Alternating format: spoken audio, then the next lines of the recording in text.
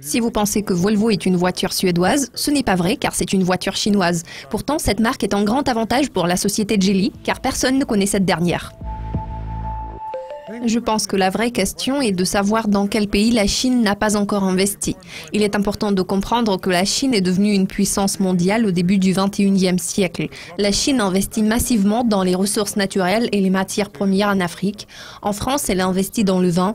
Elle réalise beaucoup d'investissements en Suisse, principalement dans le domaine pharmaceutique et celui des soins de santé. La Chine investit beaucoup en Australie. Tous les exemples sus-mentionnés témoignent du fait que la Chine est un acteur mondial. Sans aucun doute, elle va continuer à investir dans d'autres pays. Elle ne ratera pas l'occasion d'obtenir des avantages concurrentiels, que ce soit en termes de technologie ou bien en termes de part de marché.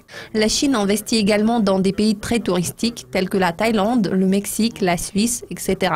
Par conséquent, les Chinois ne cessent de renforcer leur influence. D'ailleurs, nous constatons que la Chine rachète activement des entreprises à travers le monde.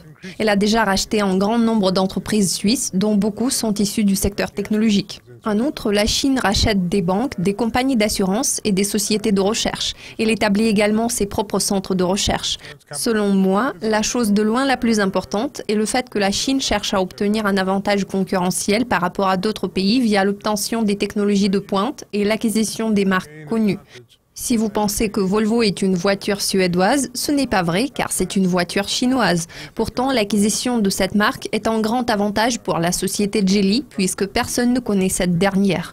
Tout porte à croire que la Chine continuera à augmenter son portefeuille de technologies et de marques et à gagner des parts de marché en allant de l'avant.